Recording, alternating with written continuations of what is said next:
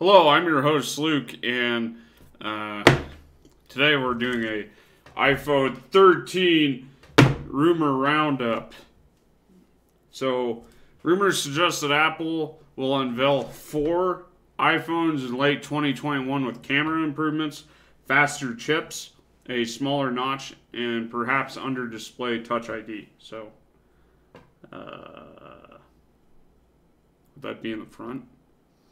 So, uh, the rumored features are four sizes, similar to the iPhone 12 roundup, a smaller notch, 120 hertz uh, display, camera improvements, the A15 chip, uh, 5G, and a fall 2021 launch.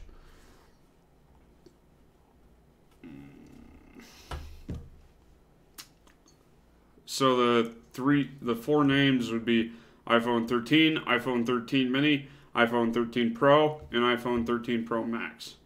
Um, the Pro Max would have a 6.7 inch screen, which, yeah.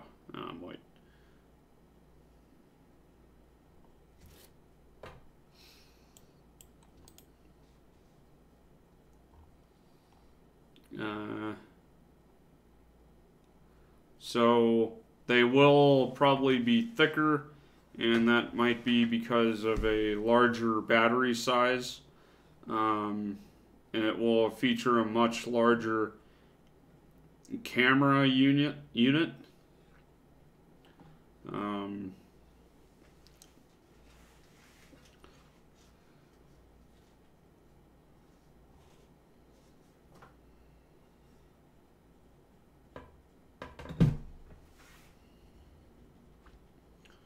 So apparently they're considering an orange bronze like color. Uh, the smaller notch is the camera thing right here. Um, hmm.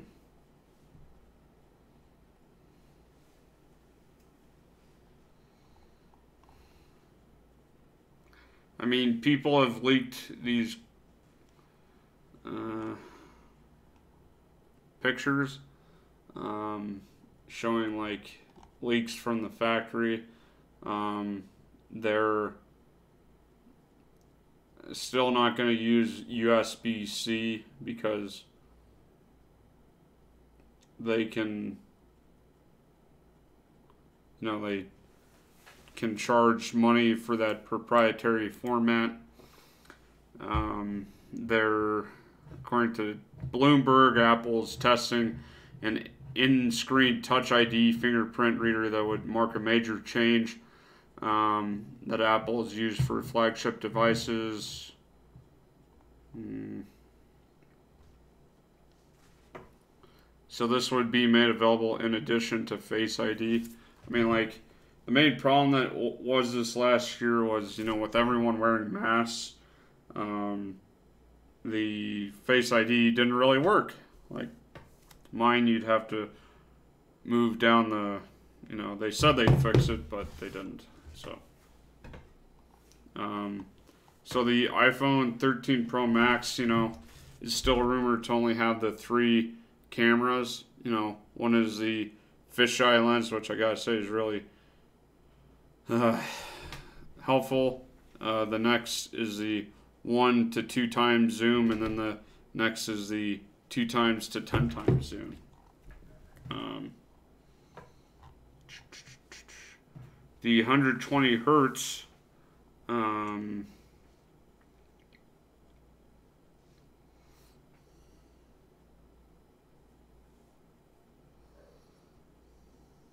at least two 21 iPhone models will use OLED displays with low power LTPO backplane technology, which will pave the way for 120 hertz refresh rates um, LTPO offers a more power efficient backplane, uh, which turns the individual pixels on and off and allows for better battery life. I mean, this was pretty good.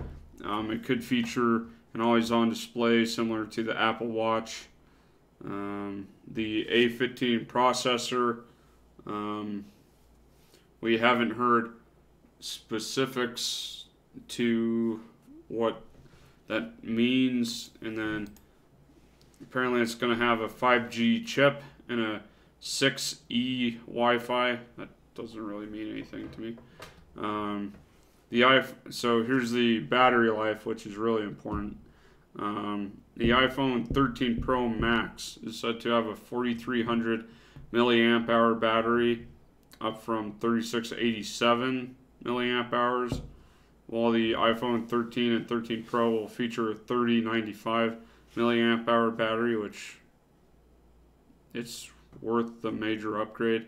My brother has like a had a phone that had like a 5000 milliamp hour battery. It would last three days with pretty heavy usage. Um, so they're saying they're not really sure what the um, maximum storage is. I was stupid and bought the 64, thinking that would be enough. It wasn't. I think I'm going to buy the 256 if they have that. Maybe they don't. I don't really know. Um, the camera, I think that should be a separate video. But um, Apple is boosting, uh, well, it's going to be unveiled in the fall of 2021 with the company likely aiming to return its to its traditional September launch timeline. So I'm getting close to it. Oh, I want a new iPhone. Uh, why is it so hard? I just want a new iPhone.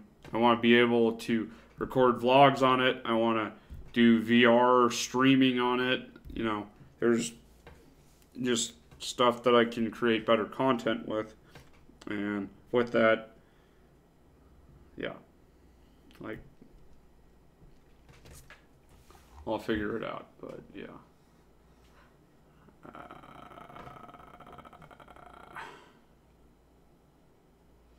so they're also saying there might be some kind of foldable iPhone. I really doubt that. it, that looks weird. I I don't know if I would buy that. Like I've seen so few people with the folding, um, I like androids. I don't know. To me, they just look weird, but I think they'll catch on eventually when someone figures out the right design. This has been your host Luke. Like this video if you liked it. Subscribe for more. I hope you guys have a great day. Thanks for watching. Bye.